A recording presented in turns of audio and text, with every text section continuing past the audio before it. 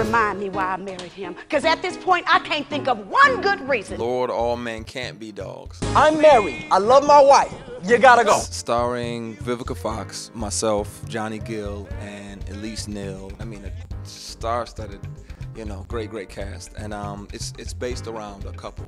You know what? I done had about as much of your mouth as I'ma take today. I'm Tim Johnson, and Vivica's Lisa, my wife, and we have issues. I like your mama hair better when she wear it. At least my mama ain't got no beard. So God sends a couple of angels down into the house that no one else can see. No, you ain't talking to the Lord with liquor on your breath. They're messing around and playing and so forth.